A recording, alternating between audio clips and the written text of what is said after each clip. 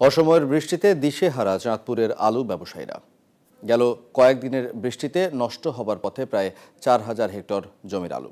একই অবস্থা চাষিদেরও।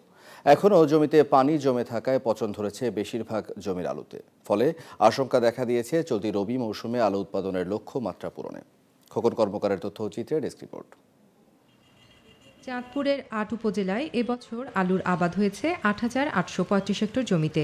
এর মধ্যে প্রায় চার হাজার ছশো পঁচিশ হেক্টর জমির আলু তোলা হলেও গত কয়েকদিনের টানা বৃষ্টিতে ক্ষতিগ্রস্ত হয়েছে অন্তত চার হাজার দুশো দশ হেক্টর জমির আলু।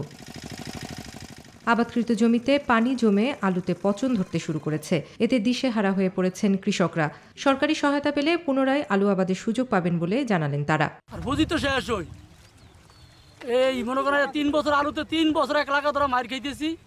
সরকার আলুর প্রতি কোনো কেয়ার নেন কৃষি ব্যাংকে লোন আছে আমার এক লক্ষ টাকা। এরপরে এখন যে আলু উঠাইতে আছি জামালপুর থেকে লোকাই না। এখন মনে করেন আমাদের বদলার পয়সা হবে না।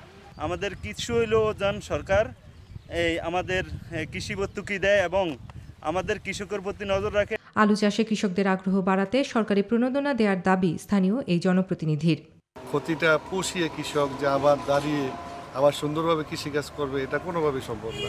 যদি সরকার সহযোগিতা করে তাহলে আমার মনে হয় গত দুই তিন বছর যে আলু চাষিরা যে যে ক্ষয়ক্ষতি হয়েছে আমার ইউনিয়নে বা সারা বাংলাদেশে আমার মনে হয় একটু হলেও পুষিয়ে তারা ঘুরে দাঁড়াতে পারবে। এদিকে অসমের বৃষ্টিতে ক্ষতিগ্রস্ত আলু বাজারে বিক্রি করার পরামর্শ দিচ্ছে কৃষি বিভাগ।